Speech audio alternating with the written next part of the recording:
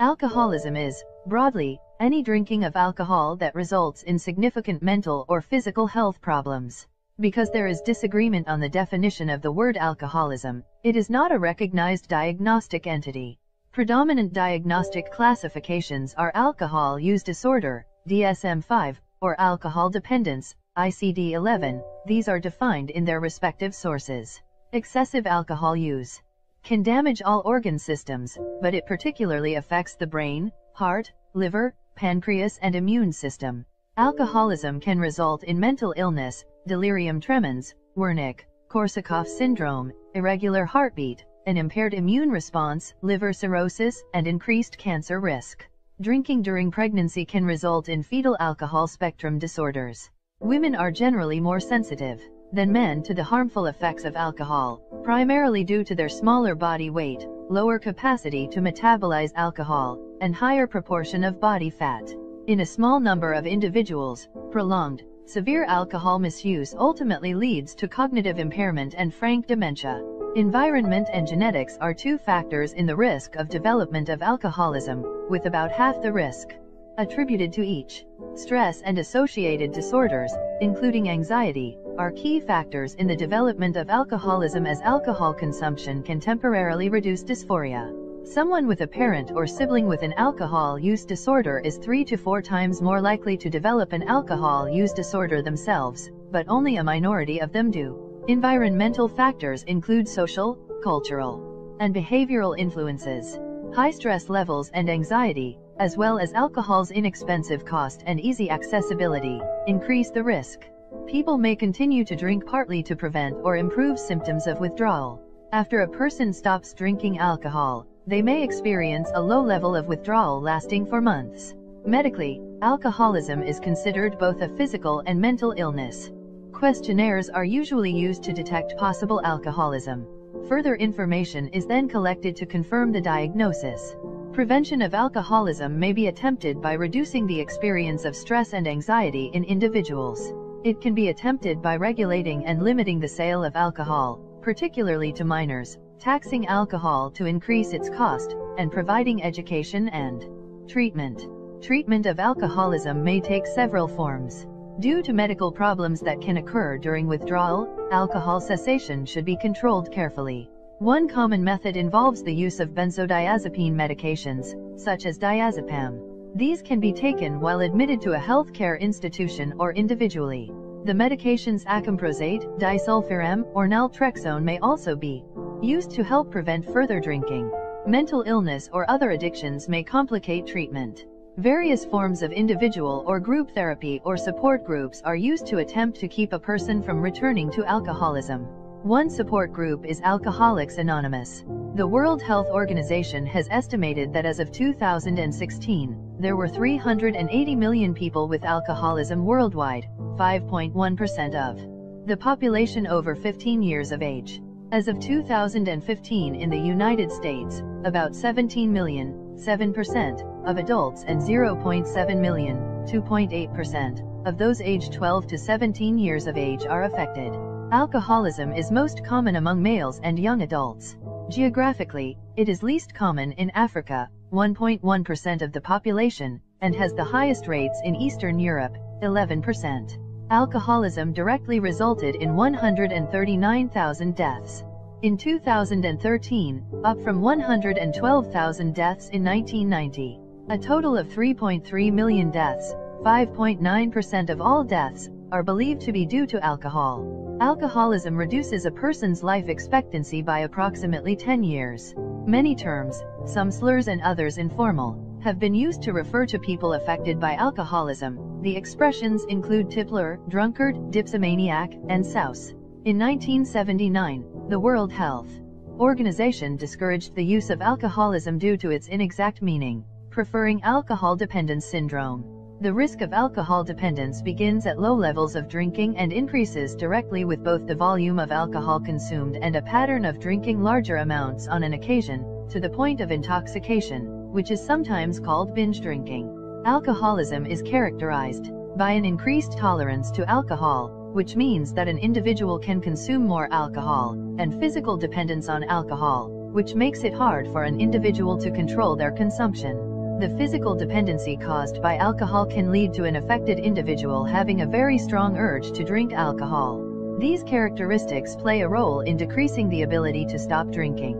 Of an individual with an alcohol use disorder, alcoholism can have adverse effects on mental health, contributing to psychiatric disorders and increasing the risk of suicide. A depressed mood is a common symptom of heavy alcohol drinkers. Warning signs of alcoholism include the consumption of increasing amounts of alcohol and frequent intoxication, preoccupation with drinking to the exclusion of other activities, promises to quit drinking and failure to keep those promises, the inability to remember what was said or done while drinking, colloquially known as blackouts, personality changes associated with drinking, denial, or the making of excuses for drinking, the refusal to admit excessive drinking, dysfunction, or other problems at work or school, the loss of interest in personal appearance or hygiene, marital and economic problems, and the complaint of poor health, with loss of appetite, respiratory infections, or increased anxiety. Drinking enough to cause a blood alcohol concentration, BAC, of 0.03 to 0.12% typically causes an overall improvement in mood and possible euphoria, a happy feeling, increased self-confidence and sociability, decreased anxiety, a flushed, red appearance in the face and impaired judgment and fine muscle coordination. A BAC of 0.09% to 0.25% causes lethargy, sedation, balance problems, and blurred vision. A BAC of 0.18% to 0.3% causes profound confusion, impaired speech, e.g. slurred speech, staggering, dizziness and vomiting. A BAC from 0.25% to 0.4% causes stupor, unconsciousness, anterograde amnesia, vomiting. Death may occur due to inhalation of vomit while unconscious, and respiratory depression, potentially life-threatening. A BAC from 0.35% to 0.8% causes a coma, unconsciousness, life-threatening respiratory depression and possibly fatal alcohol poisoning. With all alcoholic beverages, drinking while driving, operating an aircraft or heavy machinery increases the risk of an accident. Many countries have penalties for drunk driving. Having more than one drink a day for women or two drinks for men increases the risk of heart disease, high blood pressure, atrial fibrillation, and stroke. Risk is greater with binge drinking, which may also result in violence or accidents. About 3.3 million deaths, 5.9% of all deaths, are believed to be due to alcohol each year. Alcoholism reduces a person's life expectancy by around 10 years and alcohol use is the third leading cause of early death in the United States. Long-term alcohol misuse can cause a number of physical symptoms, including cirrhosis of the liver, pancreatitis, epilepsy, polyneuropathy, alcoholic dementia, heart disease, nutritional deficiencies, peptic ulcers and sexual dysfunction, and can eventually be fatal. Other physical effects include an increased risk of developing cardiovascular disease, malabsorption, alcoholic liver disease, and several cancers. Damage to the central nervous system and peripheral nervous system can occur from sustained alcohol consumption. A wide range of immunologic defects can result and there may be a generalized skeletal fragility, in addition to a recognized tendency to accidental injury, resulting a propensity to bone fractures. Women develop long-term complications of alcohol dependence more rapidly than do men. Additionally, women have a higher mortality rate from alcoholism than men. Examples of long-term complications include brain, heart, and liver damage and an increased risk of breast cancer. Additionally, heavy drinking over time has been found to have a negative effect on reproductive functioning in women. This results in reproductive dysfunction such as anovulation, decreased ovarian mass, problems or irregularity of the menstrual cycle, and early menopause. Alcoholic ketoacidosis can occur in individuals who chronically misuse alcohol and have a recent history of binge drinking. The amount of alcohol that can be biologically processed and its effects differ between sexes. Equal dosages of alcohol consumed by men and women generally result in women having higher blood alcohol concentrations, BACs, since women generally have a lower weight and higher percentage of body fat and therefore a lower volume of distribution for alcohol than men. As with similar substances with a sedative hypnotic mechanism, such as barbiturates and benzodiazepines. Withdrawal from alcohol dependence can be fatal if it is not properly managed. Alcohol's primary effect is the increase in stimulation of the GABA receptor, promoting central nervous system depression. With repeated heavy consumption of alcohol, these receptors are desensitized and reduced in number, resulting in tolerance and physical dependence.